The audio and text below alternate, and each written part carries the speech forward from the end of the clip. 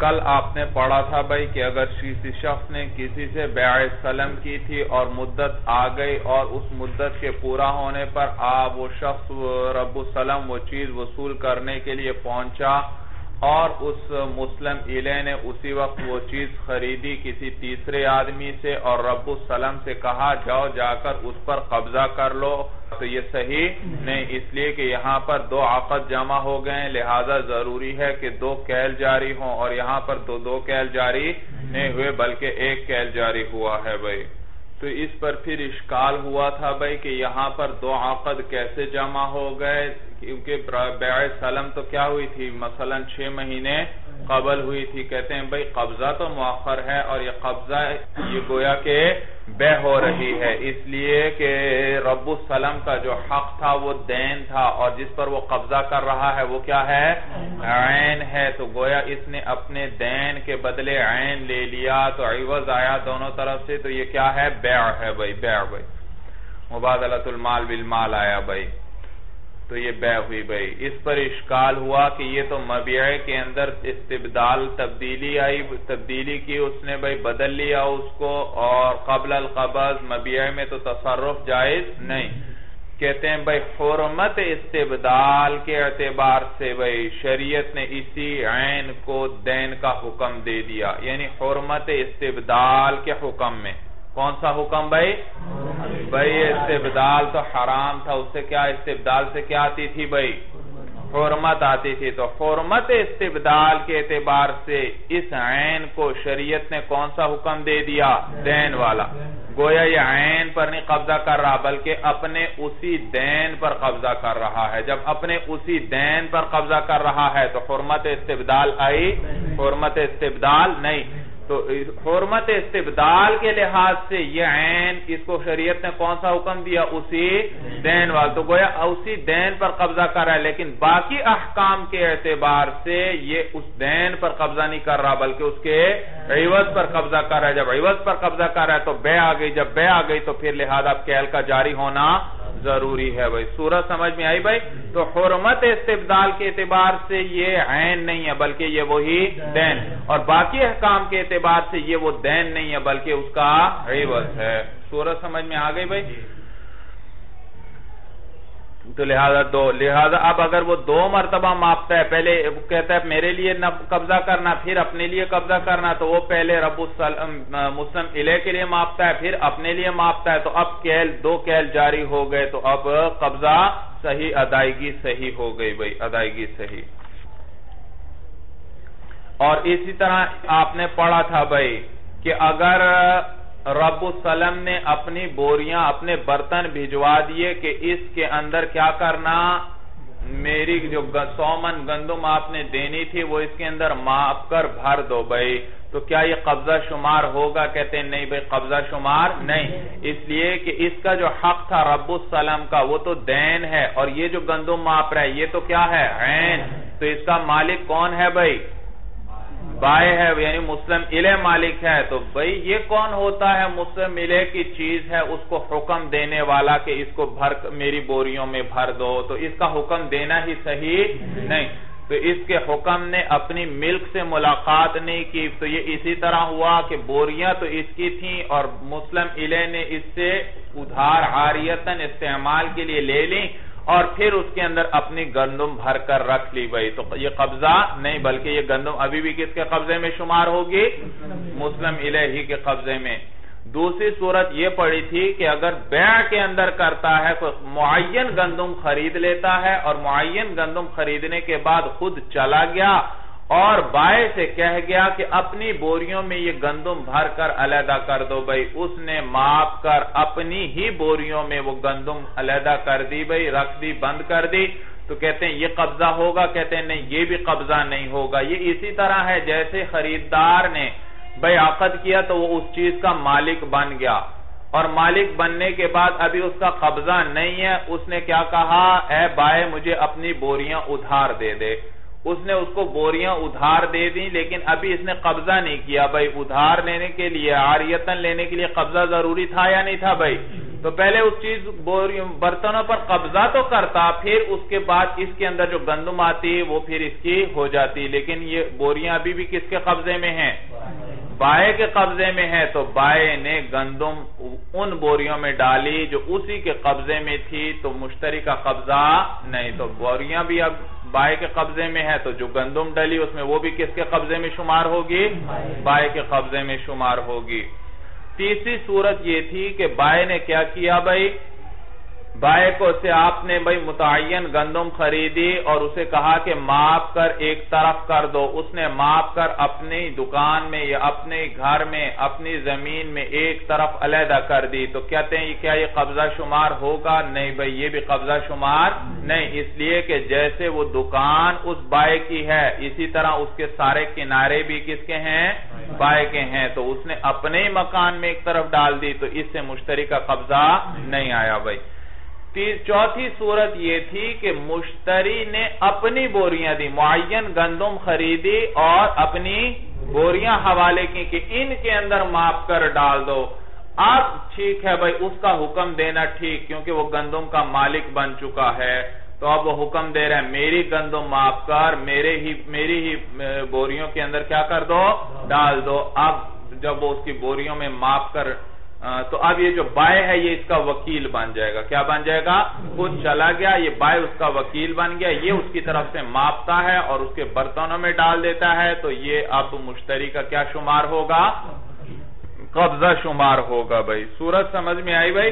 پھر ایک یہ مسئلہ آپ نے پڑھا تھا کہ اگر ایک ہی وقت میں عین اور دین دونوں ہیں بھائی مثلا بیع سلم کی تھی آپ نے سو من گندم کی اور ساتھ ہی پھر کیا کر لی؟ جب وصول کرنے گئے تو اسی وقت کوئی معین گندم بھی وہاں تھی۔ سو من مزید وہ بھی خرید لی بھائی۔ اب عین بھی ہے اور دین بھی ہے بھائی۔ اب اس کو مشتری اپنی بوریاں دے کر چلا جاتا ہے۔ اپنی بوریاں دے کر چلا جاتا ہے کہ میری جو گندم میں نے آپ سے بیع سلم میں خریدی ہے اور ابھی جو نقد خریدی ہے وہ دونوں ان میں بھر دو بھائی۔ آپ کہتے ہیں اگر اس بائے نے بھائی، اس نے کس سے ابتدا کی بھائی؟ اگر اس نے عین سے بھائی ابتدا کی، وہ معین گندم جس کا مالک مشتری عقد کی وجہ سے بن چکا ہے۔ اور پھر دین اس کے بعد ماپا، تو اس صورت میں قبضہ ہو جائے گا۔ لیکن اگر اس نے دین سے ابتدا کی اور عین کو مؤخر کیا، تو اس صورت میں یہ قبضہ نہیں، بلکہ بے ہی ٹوٹ جائے گی بھائی۔ کیوں عین سے ابتدا کرنے کی صورت میں کیوں کہتے ہیں بھائی؟ اس لیے کہ بوریاں کس کی ہیں؟ مشتری کی ہیں۔ اچھا اور وہ جو گندم اس نے خرید لی، اس کا بھی یہ کیا بن چکا ہے؟ مالک۔ تو اب حکم دینا اس کا صحیح۔ اس نے تو حکم صحیح ہوا اب وہ ماپتا ہے اور اس کی بوریوں میں ڈالتا جاتا ہے تو ان پر کس کا قبضہ ہوا اب؟ مشتری کی بوریاں ہیں اور مشتری کی گندم ڈلی کس کا قبضہ بھائی؟ مشتری۔ کا قبضہ ہو گیا۔ اب جب یہ سو پورے ہو گئے اگلے سو وہ ماپتا ہے وہ ہے دین۔ اب اس دین کو انہی کے ساتھ وہ شامل کرتا جا رہا ہے۔ تو اب وہ دین کس کے ساتھ ملتا جا رہا ہے؟ مشتری کی ملک کے ساتھ ملتا جا رہا ہے۔ جب اس کی ملک کے ساتھ مل رہا ہے تو اس میں بھی کیا ہو جائے گا؟ اس کا قبضہ ہو جائے گا۔ پہلی والی میں تو قبضہ تھا، ان میں بھی اس کا قبضہ ہو جائے گا۔ لیکن اگر وہ ابتدا کرتا ہے دین سے بھائی، تو اس دین کا تو مالک کون ہے بھائی؟ خود مالک ہے، بھائی، وہ رب مسلم ملے خود مالک ہے، تو اس کا حکم دینا ہی صحیح نہیں۔ جب حکم دینا ہی نہیں صحیح، تو لہذا اب وہ اسی طرح ہو گیا۔ گویا اس نے بوریاں کس سے ادھار مانگی ہیں؟ مشتری سے ادھار مانگی ہیں اور ان میں اب اپنی گندم بھر رہا ہے۔ جب سو من پورے ہو گئے، اب مشتری کے بھی ساتھ ماپ کر بیچ میں ڈالتا جا رہا ہے۔ تو اپنی ملک کے ساتھ مشتری کے ملک کو اس نے ملا دیا بھائی، اب دونوں میں جدائی ممکن نہیں۔ تو یہ اسی طرح گویا اس نے مشتری کی ملک کو یعنی مبیع کو ہلاک کر دیا۔ اور مبیعہ قبل القبض جب ہلاک ہو جائے تو بے کیا ہو جایا کرتی ہے؟ ٹوٹ جایا کرتی ہے۔ تو یہاں بھی بے ٹوٹ جائے گی ختم ہو جائے گی۔ جبکہ صاحبین کے نزدیک بھائی، اس صورت میں اختیار ہے مشتری کو، چاہے تو بے کو توڑ دے اور چاہے تو اس کو شریک کر لے اپنے ساتھ بھائی۔ جی۔ پھر اس کے بعد ایک یہ مسئلہ آپ نے پڑھا تھا، اگر کسی نے بھائی بیع سلم کی ایک کر گندم خریدی اور وہ اسے چھ ماہ بعد ملے گی اور سمن کے طور پر کوئی زوات القیم میں سے کوئی چیز دیتا ہے، مثلا کوئی باندھی اس کو دے دی بھائی۔ بعد میں اقالے کا خیال آتا ہے، اقالہ کرتے ہیں دونوں بھائی۔ اقالہ کر لیا، اقالے کے بعد ابھی باندھی واپس نہیں کی بھائی۔ گندم تو ابھی ملی نہیں بھائی۔ اور باندھی کس کے قبضے میں ہے؟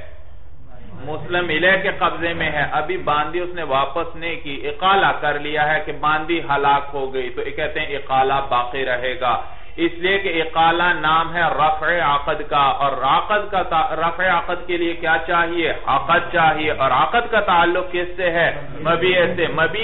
مبیع ہے تو عقد ہے۔ جب عقد ہے تو رفع عقد بھی صحیح ہے باقی ہے بھائی۔ صورت سمجھ میں آئی بھائی؟ تو یہاں پر مبیع وہ گندم ہے بھائی۔ اور اگر باندی مر گئی اس کے بعد اقالہ کر لیتے ہیں تو کہتے ہیں اقالہ پھر بھی کیا ہوگا؟ صحیح۔ کیونکہ رفع عقد ہے اقالہ اور رفع عقد کیا چاہتا ہے؟ عقد چاہتا ہے۔ اور عقد کا تعلق کس سے ہے؟ مبیع سے۔ اور مبیع تو قائم ہے لہذا سامن کے ہلاک ہونے سے فرق نہیں پڑتا اس پر کوئی بھائی۔ لہذا اب بھائی وہ باندھی تو دے نہیں سکتا، وہ ہلاک ہوئی، کیا دے گا؟ اس کی قیمت دے گا دونوں صورتوں میں۔ جی اب آگے دیکھیے۔ وَقَذَلْ مُقَائَزَةُ فِي وَجْهَيْهِ۔ اور اسی طرح بیع مقایزہ ہے دونوں صورتوں کے اندر۔ اوپر دو صورتیں ہوئی نا کہ ایک اقالے کے بعد وہ سمن کیا، وہ باندی کیا ہوئی؟ ہلاک۔ اور ایک صورت وہ تھی کہ اقالے سے پہلے وہ باندی کیا ہوئی؟ ہلاک بھئی دونوں پہلی صورت میں اقالہ ہو چکا تھا لیکن پھر باندی ہلاک ہوئی تو اقالہ باقی رہے گا۔ اور دوسری صورت میں باندی پہلے ہلاک ہو چکی تو اقالہ صحیح۔ تو ایک میں ہے بقائے اقالہ، ایک میں کیا ہے؟ صحت اقالہ۔ بھائی، تو یہ دونوں صورتیں بقائے اقالہ اور صحت اقالہ اس بیع مقایضہ میں بھی ہوگا۔ کس میں؟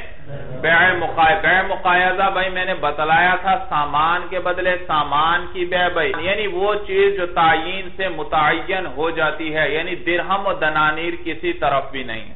درہم و دنانیر کسی طرف بھی نہیں ہے۔ تو یہ بیع مقایضہ ہے۔ بھئی ایک طرف آپ کی گندم ہے، دوسری طرف کیا ہے؟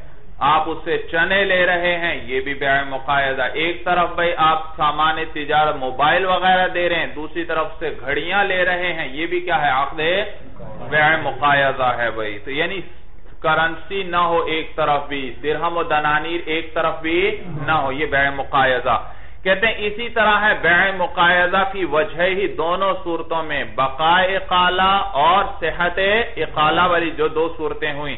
یعنی عقد مقایضہ کے اندر، چونکہ دونوں طرف سامان ہے، تو دونوں میں مبیعہ بننے کی صلاحیت ہے۔ دونوں میں کیا ہے؟ مبیعہ بننے کی صلاحیت۔ لہذا کوئی ایک عوض ہلاک ہو جائے۔ تو بھی اقالہ باقی رہے گا اگر اقالے کے بعد ہلاک ہو۔ اور اگر اقالے سے پہلے ہلاک ہو جائے، پھر بھی اقالہ کرنا کیونکہ دوسرا تو باقی ہے۔ اور اس دوسرے میں کیا ہے؟ مبیہ بننے کی صلاحیت۔ مثلا بھائی، آپ نے ایک شخص کو دس گھڑیاں دیں اور بدلے میں دس موبائل لیے بھائی۔ یہ کون سی ہے؟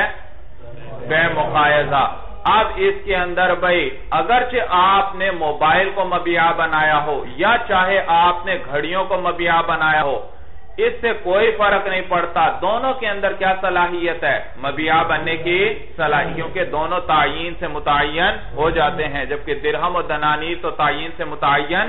لہذا اب اس صورت کے اندر آپ، وہ ایک چیز اقالے سے پہلے ہلاک ہو گئی۔ مثلا کیا ہلاک ہوئی؟ وہ گھڑیاں کیا ہوئی اقالے سے پہلے ہلاک ہوئی تو پھر بھی اقالہ کرنا صحیح، اس لیے کہ اقالہ نام ہے کس چیز کا؟ رفع عقد کا۔ اور رفع عقد کے لیے کس کی ضرورت ہے؟ عقد کی۔ اور عقد کا قیام کس چیز کے ساتھ ہے؟ مبیع کے ساتھ ہے۔ اور مبیع اگر ایک ہلاک ہو چکا ہے تو دوسری چیز میں بھی تو مبیع بننے کی صلاحیت تھی۔ گویا مبیع ابھی بھی قائم ہے بھائی۔ سورج سمجھ میں آئی بھائی؟ اور اگر اقالہ کر لیا، اقالے کے بعد وہ چیز ہلاک ہو گئی، ایک چیز بھئی تو پھر اس صورت میں بھی اقالہ باقی رہے گا۔ اس لیے کہ اقالہ نام ہے کس کا؟ رفع عقد اور رفع عقد کے لیے کیا چاہیے؟ عقد اور عقد کا قیام کس سے ہے؟ مبیع سے۔ تو ایک عوض ہلاک ہوا تو دوسرا تو باقی ہے، اور اس میں بھی کس چیز کی صلاحیت ہے؟ مبیع۔ تو گویا مبیع ابھی بھی باقی ہے بھئی تو عقد اقالہ بھی باقی رہے گا۔ صورت سمجھ میں آئی؟ وَقَذَلْ مُقَائَذَةُ فِي وَجْهَيْهِ اور اسی طرح مقایضہ ہے بے مقایضہ دونوں صورتوں کے اندر اِذَا بَعَ أَمَتًا بِعَرْضٍ، جب بیچا کسی نے باندی کو بِعَرْضٍ کسی سامان کے بدلے فَحَلَكَ أَحَدُهُمَا، کوئی ایک ان دونوں میں سے ہلاک ہو گیا، دون الْآخَرِ نہ کہ دوسرا۔ فتقایلا پھر دونوں نے اقالہ کر لیا صحت تقایل تو یہ اقالہ صحیح ہے۔ ولو تقایلا ثم حلق احدهما بقیت تقایل۔ اگر اقالہ پہلے کر لیا پھر دونوں میں سے کوئی ایک ہلاک ہوا تو بھی اقالہ باقی رہے گا کیونکہ ایک تو باقی ہے۔ فقوله وقضا ماتن نے جو کہا نا وقضا المقایزت فی وجہی تو یہ وقضا الى آخری آخر تک جو کہا مصنف نے تقدیر ہو، اس تقدیر کلام یہ ہے بھائی کہ کیا اسی طرح ہے مقایضہ دونوں صورتوں میں؟ کیا مطلب اسی طرح؟ کہتے ہیں یعنی بقیہ تقایل المقایضتی باقی رہے گا مقایضے میں مقایضے کا اقالہ۔ عقد مقایضے کا اقالہ باقی رہے گا۔ وَصَحَّ تَقَائِلُهَا فِي كِلَ الْوَجْهَيْنِ اور اسی طرح بیع مقایضے کا اقالہ صحیح ہوگا۔ ایک صورت میں باقی رہنا، ایک صورت میں صحیح ہونا۔ فی قلل وجہیں دونوں صورتوں میں۔ بھئی بقا کی صورت میں اور صحت کی صورت میں کہتے ہیں امال بقا ففی صورت تقدم التقائل علی الحالات بقائے اقالہ اس صورت میں ہے جب اقالہ مقدم ہو کس پر؟ اس چیز کے ہاں، بھئی اقالہ تو ہو چکا ہے، اب باقی رہنا ہلاک ہونے کے بعد۔ وَأَمَّا السِّحَةُ فَفِي صُورَةِ تَأَخُرِهِ عَنْهُ۔ اور اقالے کا صحیح ہونا یہ اس صورت میں ہے جب وہ ہلاکت اقالہ مؤخر ہو کس سے بھئی ہلاکت سے۔ صورت سمجھ میں آئے؟ بخلاف شرائی بسمنی فیہما۔ بخلاف سمن کے بدلے کوئی چیز خریدنے کے ان دونوں صورتوں میں بھئی بھئی صورت مسئلہ یہ آپ نے ایک شخص کو سو درہم دیے اور اس کے بدلے ایک باندی خرید لی بھئی اب بعد میں آپ اقالہ کرنا چاہتے ہیں، چاہے آپ کرنا چاہیں، مشتری کرنا چاہے، دوسرے کے پاس آیا، دوسرے نے منظور کر لیا۔ لے، اقالہ کر لیا۔ اقالہ کرنے کے بعد وہ باندی ہلاک ہوئی۔ اب کہتے ہیں اقالہ باطل ہوا ختم۔ کیوں؟ کیونکہ مبی عقد اقالہ نام ہے کس چیز کا؟ رفع عقد اور رفع عقد کے لیے کیا چاہیے؟ عقد۔ اور عقد کا قیام کس کے ساتھ ہے؟ مبیع کے ساتھ ہے۔ اور مبیع کیا تھی بھئی باندھی۔ تو وہ ہلاک ہوئی تو اقالہ بھی ختم۔ اور اگر باندی پہلے ہلاک ہو گئی، اقالہ بعد میں کرنا چاہیں تو بھی اقالہ صحیح نہیں، کیونکہ مبیع ہی نہیں، جب مبیع نہیں تو عقد نہیں، جب عقد نہیں تو رفع عقد کہاں سے آپ کرتے ہو؟ سورج سمجھ میں آئی؟ تو کہتے ہیں، بخلاف شراء بالسمن بخلاف سمن کے بدلے خریدنے کے فی ہما ان دونوں صورتیں میں این اشترا بالدراہم والدنانیر امتن اگر خریدا کس نے دراہم و دنانیر کے بدلے کسی باندی کو ثم تقایلا پھر دونوں نے اقالہ کر لیا، ثم ماتت الامت فی ید المشتری اقالے کے بعد پھر مر گئی باندی مشتری کے قبضے میں۔ لم یبقت تقایل تو وہ تقایل اب باقی نہیں ہے۔ ولا ماتت، اگر وہ مر گئی، ثم تقایلا پھر اس کے بعد اقالہ کیا، لا یسح تقایل تو بھی اقالہ صحیح نہیں۔ ولو اختلف عاقد السلمی عاقدانی عاقدانی نون اضافت کی وجہ سے گر گیا۔ اگر اختلاف کیا دونوں عقد کرنے والوں نے السلمی کس کے عقد کرنے والے؟ سلم۔ بیع سلم کے عقد کرنے والوں نے اگر اختلاف کیا، فی شرط رداعت ردی ہونے کی شرط میں والاجلی اور اجل کے اندر، فالقول لمدعی ہی ما تو قول ان دونوں کے مدعی کا ہو، معتبر ہوگا بھئی صورت مسئلہ یہ بھئی بھئی دیکھو، صورت مسئلہ یہ کہ آپ نے ایک شخص کے ساتھ بیع سلم کی، اس کو ایک ہزار درہم دیئے اور وہ چھ مہینے کے بعد آپ کو سو من گندم دے گا بھئی گندم دے گا بھئی بھئی جب گندم دینے کا وقت آیا یا کسی وقت بھی بھئی دونوں کے درمیان اختلاف ہو جاتا ہے۔ کس چیز کے اندر؟ وصف بیان کرنے میں بھئی کیا بیان کرنے میں؟ وصف بھائی۔ یا کیا ذکر ہوا تھا بھائی؟ ہاں جی۔ وصف بیان کرنے میں دونوں کے اندر اختلاف ہو جاتا ہے بھائی۔ کون ایک کہتا ہے بھائی، جو گندم، جو میں نے تم سے خریدی تھی، اس میں ردی ہونے کی شرط لگائی تھی۔ کس قسم کی گندم ہونی چاہیے؟ ردی قسم کی یعنی ادنا قسم کی گندم کی شرط لگائی تھی۔ دوسرا کہتا ہے نہیں بھائی، کوئی شرط نہیں لگائی تھی۔ دوسرا کیا کہتا ہے؟ کوئی شرط نہیں لگائی تھی بھائی۔ تو دیکھو، اب یہ شرط لگانا تو ضروری تھی بھئی آپ نے پڑھا تھا بیع سلم کے اندر سات چیزوں کی شرط ضروری، اور ان میں سے ایک صفت کا بیان کرنا کہ اعلی چیز ہے یا ادنا چیز ہے بھئی اس کی شرط بھی ضروری تھی۔ اور اب ایک اس چیز کا دعویٰ کر رہا ہے، دوسرا اس کا منکر ہے۔ اگر دعویٰ کرنے والے کی طرف دیکھیں تو بھئی اس کی بات مانی جائے تو عقد سلم صحیح رہتا ہے۔ اگر دوسرے کی بات مانی جائے تو عقد سلم ہی صحیح، کیونکہ عقد سلم میں تو شرط تھی۔ کیا چیز بھائی کہ صفت بیان کی جائے۔ اور یہ کہہ رہا ہے کوئی صفت بیان نہیں ہوئی تھی تو اس کی بات مانی جائے تو عقد کو کیا ماننا لازم آئے گا؟ فاسد ماننا لازم آئے گا۔ اور دوسرا کہتا ہے ردی ہونے کی شرط لگی تھی، اس کی بات مانی جائے تو عقد کا صحیح ہونا لازم آتا ہے۔ تو یاد رکھو، امام اعظم ابو حنیفہ رحم اللہ کے نزدیک بات اس کی معتبر ہوگی جو صحت عقد کا مدعی ہو گئی۔ جو کس کا مدعی ہو؟ صحت عقد کا مدعی۔ جس کے قول سے عقد کا صحیح ہونا لازم آتا ہے، اس کا قول معتبر کیا جائے گا بھائی۔ باقی یہ نہیں دیکھا جائے گا کہ وہ اس صفت کا انکار، منکر کا قول، ویسے تو کس کا قول معتبر ہوتا ہے؟ منکر کا۔ لیکن یہاں پر کس کا قول معتبر ہوگا بھائی؟ جو مدعی صحت ہے، مدعی صحت ہے۔ اسی طرح بھائی بیع سلم کی اب ایک کہتا ہے کہ ہم نے مدت مقرر کی تھی بھائی۔ دوسرا کہتا ہے ہم نے کوئی مدت مقرر نہیں کی بھائی۔ تو مدت مقرر کرنے کا جو مدعی ہے وہ گویا کہ عقد سلم کی صحت کا مدعی ہے، کیونکہ مدت کا مقرر کرنا امام صاحب کے نزدیک شرط ہے بھائی۔ تو اس میں اب ایک اس کا منکر ہے، ایک اس کا مدعی ہے، تو کس کا قول معتبر ہوگا؟ مدعی کا، کیونکہ اس مدعی کی بات مانی جائے یعنی مدت مقرر ہوئی تھی تو عقد صحیح رہتا ہے، ورنہ عقد ہی صحیح نہیں رہتا بھائی۔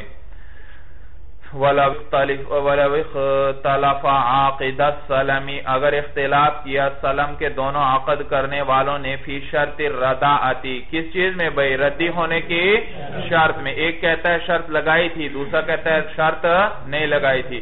والاجلی اور کس کے اندر بھئی اجل کے اندر۔ ایک کہتا ہے مثلا اجل ہم نے مقرر کی تھی، دوسرا کہتا ہے اجل مقرر نہیں۔ کہتے ہیں فالقول لمدعیہما تو قول ان دونوں کے مدعی کا معتبر ہے۔ یہ دونوں کیا بھئی یہ رداعت اور اجل۔ جو رداعت اور اجل کا مدعی ہے، اس کا قول معتبر، دوسرے کا نہیں۔ اے قال المسلم الی مثال کے طور پر مسلم الی کہتا ہے، جو بائے ہے بھئی جس سے آپ کو گندم حوالے کرنی ہے۔ وہ کہتا ہے، شارتنا ردیہ. ہم نے کس چیز کی شرط لگائی تھی؟ ردی کی۔ وقال رب السلمی اور رب السلم کہتا ہے خریدار یعنی لم نشترد شیعہ ہم نے کسی چیز کی شرط نہیں لگائی تھی۔ حتی یکون العقد فاسدن بھئی یہاں تک کہ عقد کیا تھا؟ فاسد ہوا تھا۔ فالقول قول المسلم الیہ، تو قول کس کا معتبر؟ مسلم الیہ کا معتبر لی انہ رب السلم متعنت. اس لیے کہ رب السلم متعنت ہے متعصب ہے. متعنت کہتے ہیں جو بلا وجہ مصیبت یا پریشانی کھڑی کرنے والا بھائی. متعنت کسے کہتے ہیں؟ جو پریشانی کھڑی کرنے مصیبت کھڑی کرنے والا ہو بھائی. سمجھ میں آیا؟ بھائی وہ بلا وجہ پریشانی کھڑی کرنے والا ہے۔ کیوں بلا وجہ پریشانی کیوں کھڑی کر رہا ہے؟ کہتے ہیں، دیکھو، یہ جو مسلم فی ہوتا ہے، یہ ہمیشہ زائد ہوتا ہے رأس المال سے۔ یعنی وہ جو مبیعہ ہے، وہ سمن سے ہمیشہ کیا ہوتا ہے؟ زائد ہوتا ہے۔ یعنی اس سے بہتر ہوتا ہے۔ کیا ہوتا ہے اس سے؟ کیوں بھئی کیسے بہتر ہوتا ہے؟ ضروری تو نہیں ہے۔ کہتے ہیں، نہیں بھئی دیکھو، ایک چیز آپ دے رہے ہیں نقد، تو اور ایک چیز ہوتی ہے ادھار۔ نقد بہتر ہے یا ادھار بہتر ہے؟ نقد بہتر ہے بھائی، نقد کو فضیلت ہے ادھار پر بھائی۔ لیکن اس کے باوجود لوگ کیا کرتے ہیں؟ عقد سلم کیا کرتے ہیں؟ پیسے پہلے دے دیتے ہیں اور وہ چیز چھ ماہ بعد جا کے ملتی ہے۔ تو معلوم ہوا وہ چیز بہتر ہے، اسی لیے تو اس نے اس کے ادھار کو بھی کیا کر لیا؟ برداشت کر لیا۔ نقد، سمجھ میں آیا بھائی؟ معلوم ہوا وہ جو چیز اسے ملے، یہ وہ عقد کر رہا ہے جس میں اس کو چیز تین مہینے، چھ مہینے، سال بعد جا کے ملے گی۔ معلوم ہوا وہ چیز بہتر ہے، اسی لیے تو وہ یہ عقد کر رہا ہے بھائی۔ کیا کر رہا ہے؟ جس میں اس کو چیز بڑے عرصے کے بعد ملے گی۔ تو معلوم ہوا جو مبیعہ ہوتا ہے، اس کے اندر، وہ کیا ہوتا ہے؟ بہتر ہوتا ہے، کس سے؟ سمن سے یعنی راسل مال سے بہتر ہوتا ہے۔ تو اب اس عقد سلم صحیح ہے۔ عقد سلم صحیح رہتا ہے بھائی۔ اگر کس کی بات مانی جائے بھائی؟ بھائی دیکھو، آپ گئے، صورت مسئلہ یہ ہے۔ آپ کے پاس ایک شخص آیا اور اس نے آپ سے بیع سلم کی، اس نے آپ کے حوالے ایک ہزار درہم کیے اور آپ کیا دیں گے؟ چھ مہینے کے بعد گندم۔ مدت آتی ہے تو آپ کہتے ہیں، بھئی وہ جو سو من گندم تھی، وہ ردی تھی بھئی۔ وہ کہتے ہیں، نہیں بھئی، کوئی شرط ہم نے نہیں لگائی تھی۔ آپ کی بات مانی جائے تو عقد صحیح رہتا ہے، اس کی بات مانی جائے تو عقد صحیح نہیں رہتا۔ تو اب وہ گویا مدعی ہے فساد عقد کا۔ کس چیز کا مدعی ہے؟ فساد عقد کا۔ حالانکہ اس عقد میں اس کا نفع ہے۔ عقد میں کیا ہے؟ اس کا بھائی، کیونکہ اس کو مسلم فی مل رہی ہے اور مسلم فی کیا ہوا کرتے ہیں؟ سمن سے بہتر ہوتے ہیں تو گویا وہ اپنے نفع سے انکار کر رہا ہے اور نفع سے انکار کر رہا ہے، معلوم وہ خواہ مخواہ پریشانی کھڑی کر رہا ہے۔ نفع سے تو کوئی بھی اپنے انکار نہیں کرتا۔ سورج سمجھ میں آئی بھائی؟ تو جب یہ عقد سلم کی صحت کا منکر ہوا، تو یعنی یہ کیا کہنا چاہتا ہے کہ عقد فاسد ہوا تھا۔ تو عقد فاسد ہوا تو گویا یہ اپنے اس نفع کا کیا کرنا چاہتا ہے؟ جب عقد فاسد ہے، اس کو تو توڑنا ضروری۔ تو گویا وہ اپنے اس نفع کا کیا کرنا چاہ رہا، کیا کر رہا ہے؟ انکار کر رہا ہے۔ معلوم ہوا یہ کیا کر رہا ہے؟ بلا وجہ مصیبت کھڑی کر رہا ہے۔ اپنے نفع سے انکار کر رہا ہے۔ بلا وجہ مصیبت کھڑی کر رہا ہے۔ تو اسی لیے کہا، لِأَنَّ رَبَّ السَّلَمِ مُتَعَنِّتٌ فِي إِنْكَارِهِ السِّحَةَ السِّحَةَ یہ مفعول ہے انکار کے لیے بھئی اس لیے کہ رب السلام متعصب ہے یا خامخواہ یوں کہیں مصیبت کھڑی کرنے والا ہے، کس چیز میں؟ اپنے انکار کرنے سے۔ اپنے انکار کرنے میں وہ کیا ہے؟ متعنت ہے۔ بھئی کس چیز کا انکار؟ السحتا ایسحت السلمی سلم کے صحیح ہونے سے انکار میں وہ متعنیت ہے. لِأَنَّ الْمُسْلَمَ فِيهِ زَائِدٌ عَلَى رَأْسِ الْمَالِ عَادَتًا. اس لیے کہ مسلم فی وہ زائد ہوتا ہے، بہتر ہوتا ہے راس المال پر عادتاً بھئی سمجھ میں حالانکہ اس نے چھ مہینے بعد ملنا ہے، پھر بھی لوگ عقد کرتے ہیں، معلوم ہو وہ بہتر ہوتا ہے. فَإِنْكَارُهُ السِّحَةَ پس اس کا انکار کرنا صحت سلم سے دعوی امرین، یہ کیا ہے؟ یہ ایسی چیز کا دعویٰ ہے، یکون ضررن فی حق ہی جو اس کے حق میں ضرر ہے۔ بھائی، جب عقد اس کو عقد اگر صحیح رہتا ہے، اس کو نفع ملے گا۔ مسلم فی، وہ بہتر چیز اسے ملے گی۔ لیکن اگر عقد فاسد ہو جائے، پھر تو عقد کا توڑنا ضروری۔ تو گویا یہ کیا کر رہا ہے؟ ایسی چیز کا دعویٰ کر رہا ہے جس میں اس کا ضرر ہے۔ اس کو وہ جو بہتر چیز ملنی ہے اب نہیں ملے گی، کیونکہ عقد ہی کیا ہوا؟ فاسد ہو گیا۔ تو گویا یہ ایسے امر کا دعویٰ کر رہا ہے جو اس کے حق میں ضرر ہے۔ فقان متعنتن تو یہ کیا ہوا؟ متعنت ہوا۔ جی وَلَوِ رَبُّ السَّلَمِ شَرْطَ الرَّدَاءَتِ اگر دعویٰ کیا رب السلم نے ردی ہونے کی شرط کا، وَقَالَ الْمُسْلَمُ إِلَيْهِ لَمْ نَشْرِتْ یا لَمْ نَشْتَرِتْ شَيْعَ اور مسلم علیہ کہتے ہیں ہم نے کوئی شرط نہیں لگائی تھی۔ اب عکس کر دیا پہلے رداعت کا دعویٰ کس نے کیا تھا؟ پہلے کس نے کیا تھا بھائی؟ مسلم علیہ نے۔ اب کون کر رہا ہے؟ رب السلم۔ اور مسلم علیہ منکر ہے۔ فالواجب ان يكون القول لرب السلام پس واجب یہ ہے کہ قول کس کا معتبر ہونا چاہیے؟ رب السلام کا. بھئی یہ کیوں کہا کہ یہ رب السلام کا ہونا چاہیے؟ دراصل اس کے بارے میں کوئی امام محمد رحم اللہ نے کوئی روایت نہیں کی امام ابو حنیفہ رحم اللہ سے. لیکن مشائخ نے ماقبل کے مسئلے سے اخذ یہ کر لیا کہ معلوم ہوا امام صاحب کے نزدیک مدعی صحت کا قول معتبر ہے۔ کس کا قول معتبر ہے؟ مدعی صحت کا قول معتبر ہے۔ تو یہاں پر بھی مدعی صحت کون ہے؟ رب السلام، کیونکہ وہ ردی ہونے کی شرط ذکر کر رہا ہے۔ تو لہذا مشائق فرماتے ہیں، معلوم ہوا یہاں پر بھی کس کا قول معتبر ہوگا؟ رب السلام کا عندہ بھی حنیفت امام صاحب کے نزدیک، لئنہو یدعی صحت اس لیے کہ رب السلام کس چیز کا مدعی ہے؟ وہ دعویٰ کر رہا ہے اس کے دعی السلام کے صحیح ہونے کا۔ فل حاصل و حاصل کلام یہ۔ انفس صورتین دونوں صورتوں میں۔ کون سی؟ رداعت اور اجل والی دونوں صورتیں جو ہیں۔ جی ان دونوں صورتوں میں القول لمدعی صحت عندہو بھئی نہیں بھائی، یہ اوپر والی جو دو صورتیں بیان ہوئی بھائی۔ پہلی صورت میں مدعی رداعت کون تھا؟ مسلم علیہ۔ دوسری صورت میں مدعی رداعت کون ہے بھائی؟ رب ان دونوں صورتوں میں القول لمدعی صحت مدعی صحت کا قول معتبر ہے۔ عند ابی حنیفت رحمہ اللہ۔ وعندہما صاحبین کی نزدیک القول للمنکری قول کس کا معتبر ہے؟ منکر کا بھئی ان کے نزدیک جیسے عام طور پر ہوتا ہے، یہاں بھی اسی طرح بھئی قول منکر کا معتبر ہوتا ہے. وَلَوْ اِخْتَلِفَا فِي الْأَجَلِ. اگر دونوں عقد کرنے والوں نے اختلاف کیا، مدت کے اندر فَقَالَ أَحَدُهُمَا تو دونوں میں سے ایک کہتا ہے شارتن الاجلہ ہم نے اجل کی مدت کی شرط لگائی تھی یعنی مدت مقرر کی تھی، وقال الاخر لم نشرت کہ ہم نے شرط نہیں لگائی تھی۔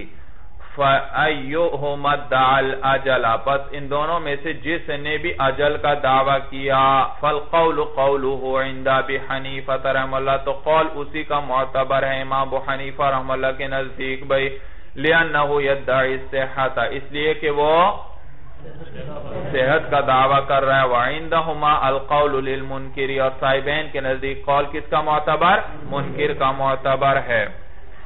وَالْإِسْتِسْنَعُ بِأَجَلٍ مَعْلُومٍ سَلَمٌ تَعَامَلُ فِيهِ أَوْلَا وَبِلَا أَجَلٍ فِي مَا يُتَعَامَلُ كَخُفٍ وَقُمْقُمَةٍ وَتَسْتٍ صَحَّ بَيْعًا لَا عِدَةً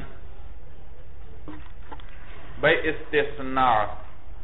بھئی بیع سلم بھی بیع تھی معدوم کی۔ اسی طرح استثناء بھی ہے بیع معدوم بھئی۔ بیع سلم میں آپ آج پیسے دے رہے ہیں، گندم آج موجود ہے؟ نہیں، تو وہ بھی بیع معدوم کی تھی، لیکن حدیث، آیات وغیرہ کی وجہ سے۔ ہاں جی اجازت دی بھئی، فقہا نے اس کی۔ اسی طرح ایک ہے استثناء بھئی۔ استثناء یعنی کسی سے آرڈر پر کوئی چیز بنوانا بھئی جسے آپ کہتے ہیں، آرڈر پر کوئی چیز بنوانا۔ آپ موچی کے پاس گئے، آپ نے اس کو ایک ہزار روپے دیے کہ مجھے اس قسم کے فلاں چمڑے کے، فلاں قسم کے مجھے موزے بنا دو بھئی یہ کیا ہے؟ استثناء ہے۔ کیا ہے؟ استثناء ہے۔ اب یاد رکھو فرق کیا ہے ان دونوں کے اندر بھائی؟ کہتے ہیں فرق یہ ہے کہ بیع سلم کے اندر مدت ہوتی ہے اور استثناء کے اندر مدت کی قید نہیں ہوتی۔ اگر مدت کی قید لگا دی تو یہ بیع، یہ استثناء نہیں رہے گا، بلکہ کیا بن جائے گا؟ بیع سلم بن جائے گی۔ سورت سمجھ میں اگر اجل ذکر کر دی تو کیا بن جائے گی یہ؟ بیع سلام اور اگر مدت مقرر نہ کی تو پھر یہ کیا ہے؟ استثناء۔ لیکن استثناء میں ضروری ہے کہ لوگوں کا تعامل ہو، لوگوں میں رواج ہو۔ وہ چیز کیا کرتے ہو آرڈر پر بنوانے کا رواج ہو۔ تو استثناء کے اندر دو شرطیں، ایک تو یہ کہ اجل اس میں نہیں ہونی چاہیے اور دوسری شرط کیا کہ لوگوں کا اس پر تعامل ہو تعامل ہو۔ والاستثناء بأجل معلوم سلم۔ تو سلم کے اندر اجل متعین ہوتی ہے اور چاہے تعامل ہو، چاہے تعامل نہ ہو بھائی تو کہتے ہیں استثناء جو ہے بھی اجل معلوم، ایک معلوم اجل کے ساتھ سلم، یہ کیا ہے؟ بیع سلم۔ نام آپ استثناء کہے تو استثناء رہے لیکن ہے سلم، کیونکہ اجل مقرر کر دی۔ تعاملو فی ہی اولا، چاہے تعامل کرتے ہو لوگ اس میں، تعامل ہو یا تعامل لوگوں کا نہ ہو بھائی۔ جی کیونکہ بیع سلم ہے بیع سلم میں تعامل کی کوئی شرط نہیں کہ لوگ کرتے ہیں یا نہیں کریں۔ بلا اجل اور بغیر اجر کے جو ہے فیما ان چیزوں میں ہے استثناء یتعاملو، جس میں کیا جاری ہو بھئی؟ اس میں تعامل ہو بھئی۔ کا خفین، جیسے موزے ہیں۔ وقمقمتن اور قمقمہ ہے بھئی۔ میں نے بتلایا تھا، قمقمہ کسے کہتے ہیں بھئی؟ جی زینت کے لیے جو برتن رکھا جائے بھئی۔ اور پس کسے کہتے تھے؟ جو ہاتھ وغیرہ دھونے کے لیے۔ تو ان میں ہوتا ہے، لوگ بنواتے ہیں تو صحیح ہے بھئی۔ تو یہ معلوم ہوا عرف کا اس پر عرف پر دار و مدار ہے بھئی تو صحہ تو یہ کیا ہے؟ استثناء ان چیزوں میں جن میں تعامل ہے، جیسے موزے ہیں، قمقمہ ہے اور تصف ہے۔ تو صحہ یہ کیا ہے؟ ان چیزوں میں صحیح ہے۔ بیعن بے کے اعتبار سے لا عیدتا نہ کہ وعدہ۔ بے ہے بھئی اس حال میں کہ یہ کیا ہے؟ بے ہے، وعدہ نہیں ہے بھئی بعض علماء فرماتے ہیں استثناء وعدہ ہے، صرف عقد نہیں۔ عقد اس وقت ہوگا۔ مثلا آپ موچی کے پاس گئے، ایک ہزار روپے دیئے کہ مجھے اس قسم کے چمڑے کے، اس قسم کے مجھے موزے بنا دو بھئی صفت وغیرہ بیان کر دی۔ تو آپ، ہمارے نزدیک یہ کیا منعقد ہو گیا؟ عقد بھئی یہ بے ہو گئی بھئی اور بعض علماء کیا فرماتے ہیں؟ عقد نہیں ہوا صرف وعدہ ہوا ہے۔ جب وعدہ ہوا ہے، تو لہذا اب عقد اس وقت ہو جائے گا جب وہ چیز بنا کر دے گا۔ جب چیز بنا کر آپ کے حوالے کرے گا اور آپ سے پیسے لے لے گا، تو بیع تعاتی ہو جائے گی اس وقت۔ سورج سمجھ میں آئی بھائی؟ تو یہ عقد استثناء صحیح ہے بیعن بیع ہونے کی حیثیت سے، لا عیدتا، نہ کہ وعدے کے۔ الاستثناء، استثناء یہ ہے، ان یقول السانعی کہ کہے کسی بنانے کاریگر سے بھئی کیا کہے؟ کل خفاف خفاف موزے بنانے والا۔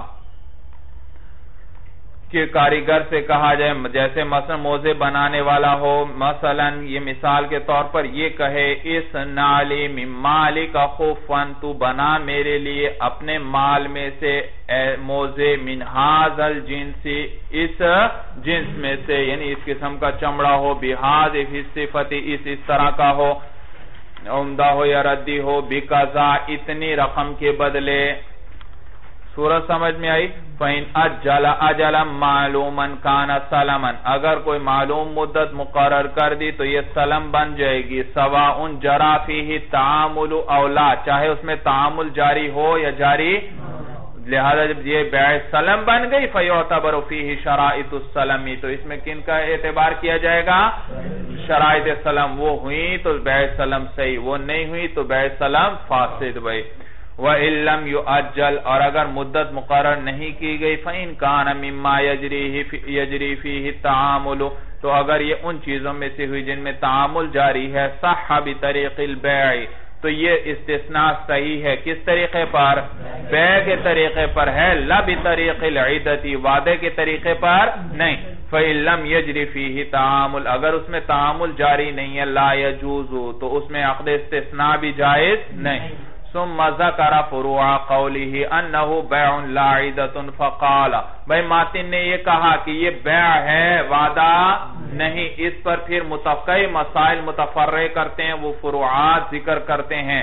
پس فرماتے ہیں، فیجبرو، یجبرو لفظ ہے بھئی فیجبرو الثانع علی عملی تو کاریگر کو بھئی مجبور کیا جائے گا اس کے عمل پر۔ بھئی عقد ہو چکا، جب عقد ہو چکا تو اس کو خیار کسی کو خیار ہے عقد کو فسخ کرنے کا، کسی کو عقد کو فسخ کرنے کا اختیار نہیں، لہذا اب کاریگر کو مجبور کیا جائے گا کہ وہ کیا کرے، وہ چیز بنا کر دے بھائی۔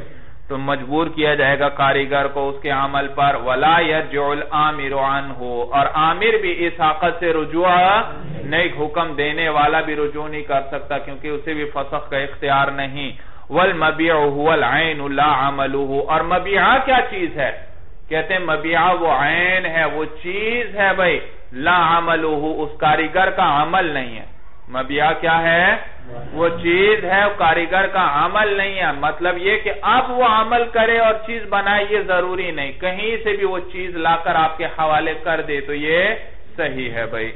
تو وہ عین کا ہو، لانا ضروری اس کے لیے۔ چاہے ابھی بنائے، چاہے خود بنائے، چاہے کسی اور سے بنوائے، چاہے پہلے سے بنائی ہوئی رکھی ہو، بس وہ عین ہونی چاہیے۔ تو مبیع وہ عین ہے، اس کا عمل نہیں ہے۔ فَإِن جَاءَ فَإِن جَاءَ بِمَا صَنَعَهُ غَيْرُهُ، پس اگر وہ لے آیا جا کا سلا با آیا، تو مانا لانا۔ فَإِن جَا اگر وہ لے آیا بیما اس چیز کو سَنَعَهُ غَيْرُهُ، جسے اس کے علاوہ نے بنایا، کسی کسی دوسرے نے بنایا ہے۔ او سَنَعَهُ ہوا قبل العقد. یا اسی نے بنایا ہے، لیکن عقد سے پہلے بنایا ہے۔ فَأَخْرَزَهُ تو عامر نے اس کو لے لیا، حکم دینے والے نے یعنی بنوانے والے نے لے لیا۔ صحا یہ کیا ہے؟ صحیح ہے۔ مبیہ حوالے ہو گیا بھائی۔ ولا يتعين له بالاختياره اور یہ مبیہ متعین نہیں ہوتا عامر کے لیے، بغیر اس کے اختیار کیے ہوئے۔ بھائی جب وہ موزے بنا کر آپ کے حوالے کرتا ہے تو آپ نے اس چیز کو بغیر دیکھے خریدا تھا۔ اب آپ دیکھتے ہیں آپ کو پسند نہیں آتا تو خیار رویت حاصل ہے۔ آپ اس چیز کو کیا کر سکتے ہیں؟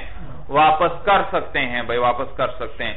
تو لہٰذا جب تک آپ اس کو پسند نہیں کر لیتے، یہ چیز متعین نہیں ہے۔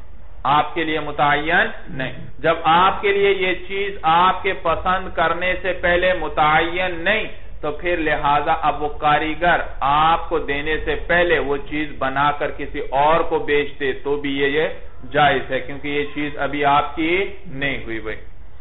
ولا يتعين له، اور یہ عامر کے لیے متعین بھی نہیں ہے، بلا اختیار ہی، بغیر اس کے اختیار کیے ہوئے۔ فصح بيع الصانع قبل رؤيه العامر۔ پس صحیح ہے کاریگر کے لیے اس کا بیچنا، اس کے عامر کے دیکھنے سے پہلے کسی اور کو بیچ دیتا ہے تو صحیح ہے کیونکہ یہ عامر کی تو ابھی نہیں ہے بھائی۔ وَلَهُ أَخْذُهُ وَتَرْكُهُ اور حکم دینے والے کے لیے جائز ہے، اس کا لینا بھی، وَتَرْكُهُ اور اس کا چھوڑنا بھی اگر پسند نہ آئے۔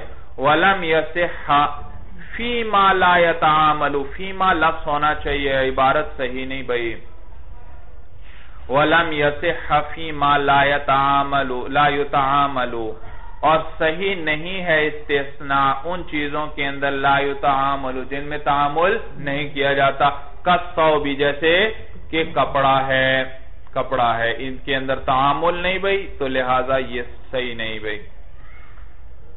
جی اذا لم یعجل بھئی۔ جب ان میں اجل مقرر نہ کی جب ان میں اجل مقرر نہ کی جائے بھئی کما شرح نہ ہو، جیسے کہ ہم نے اس کی شرح کی بھئی سمجھ میں آیا؟ جب اجل مقرر نہ ہو تو پھر ان چیزوں میں جائز جن میں تعامل ہے، جن میں تعامل نہیں، ان میں جائز نہیں۔ جی چلیے، بس کرتے ہیں۔ وَسْوَنَ فَالْمَرَامُ وَاللَّهُ عَلَمْ الْكَلَامِ